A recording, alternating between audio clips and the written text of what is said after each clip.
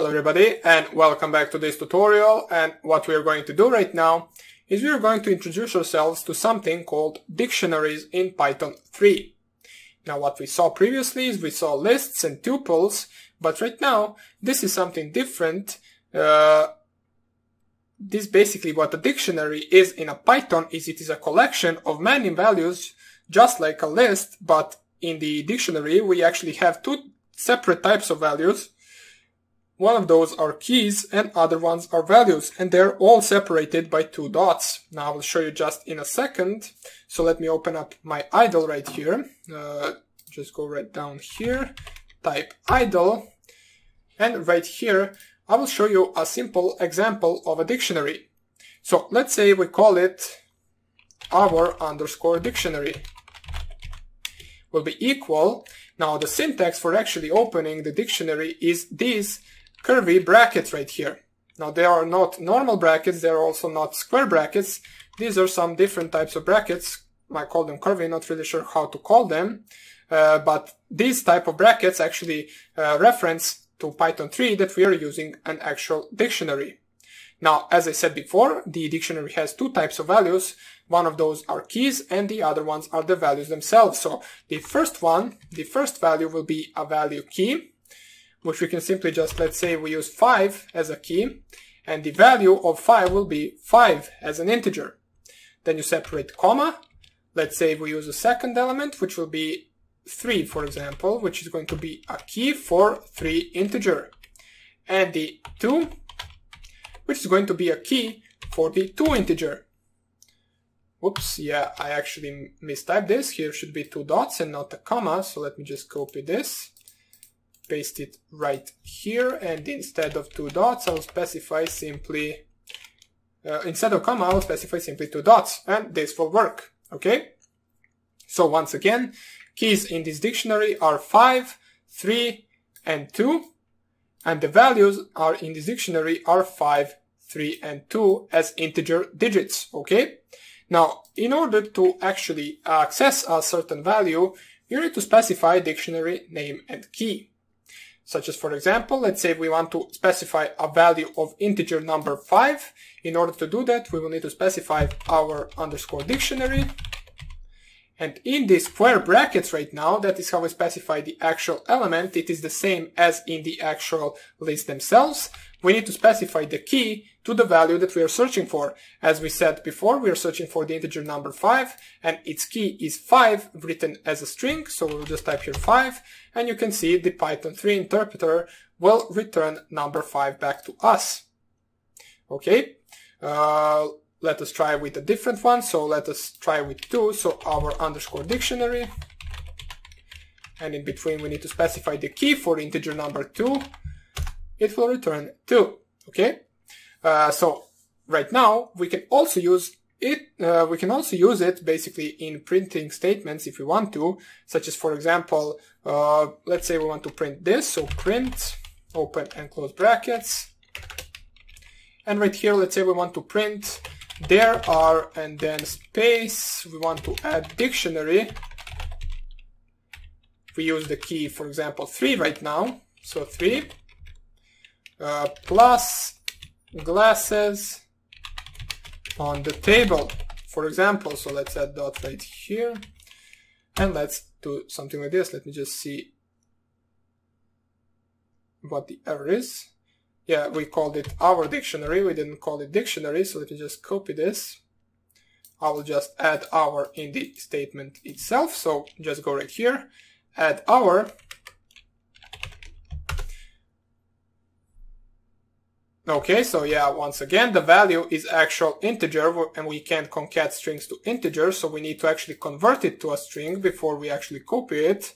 So go right here, add string, and at the end also add the bracket, and you can see right here there are three glasses on the table.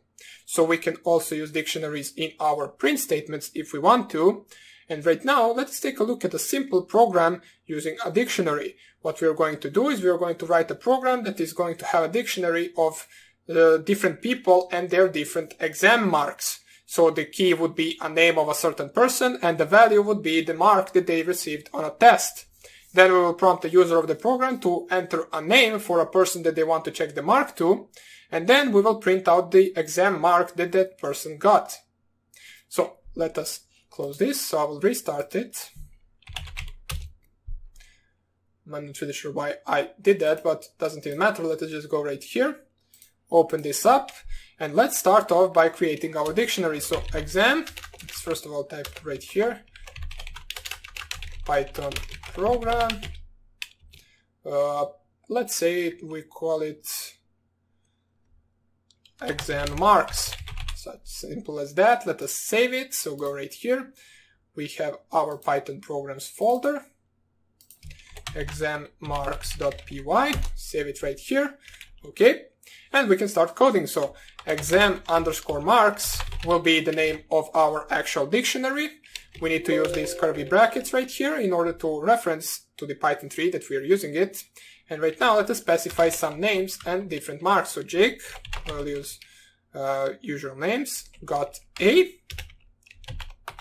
now, of course, I didn't mention it, but the key and the value can also be a string. So we saw previously that the value was actual integer, but you can also make it to be a string, comma. Then let's use, for example, Jack got, for example, D as an exam mark. Uh, the Jane, for example, got uh, B, and Adam failed the test and he got F. So let us just type it right here, F. So this is our dictionary that consists of people's use, uh, pardon me, not usernames, of people's names and their marks on the test. And right now, let us print something like this. So uh, enter a name of a person you want to check the exam mark for. Simple as that. Oops, check right here. Okay, you want to check the exam mark for, and then we will basically just use a variable called person name to be equal to input, and then we will just type here name. Simple as that. So name, just like that. And then, first of all, what we want to check out is whether the user of this program actually typed anything. So if person name person underscore name is equal to none. Uh, we want to break out of this program and if it is not, so if name is or not is, pardon me, if name in exam underscore marks, so if that name that the user specified is in the actual dictionary, we will print uh, exam mark 4 and then we will add from the dictionary, or pardon me, first of all, we will add the person name for person name plus is plus, and now we will add from the dictionary, so exam underscore marks, exam marks, and we actually need to set the uh, key right here, and the key will be the person name that the actual user inputted. So the uh, plus exam marks for, and in the brackets we specify the key and the key is the person underscore name. And with the person name key we will get the value which will be the exam mark okay else? Since if the name is not in the actual exam marks and pardon me it is not name it is person name. So else we want to print uh, can't seem oops, can't seem to find results for, and then we will concat the person name, uh, letting know that the letting know the user that that name is not in our database or basically in our current dictionary.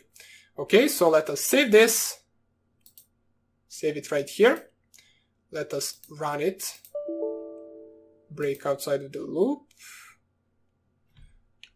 Okay, not break. I just want to type here exit. We don't want to break. Run module, save. Right here, so enter name of person you want to check the exam mark for. Let's go with, for example, Jack.